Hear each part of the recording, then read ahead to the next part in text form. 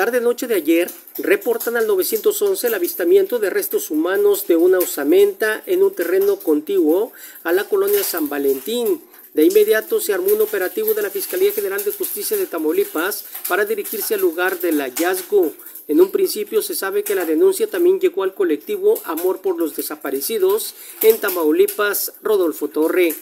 En el lugar se encontró un cráneo y osamentas. Cabe señalar que hay muchas familias enteras que todavía están buscando a sus familiares desaparecidos y esta puede ser una buena noticia para algunas de las familias para que se les acabe el calvario que están sufriendo y pasando la mayoría. Los restos humanos encontrados fueron enviados a la morgue para su análisis genético y así comparar las muestras de ADN con las muestras de familiares de desaparecidos. Les ha informado Jorge Alberto Peralta.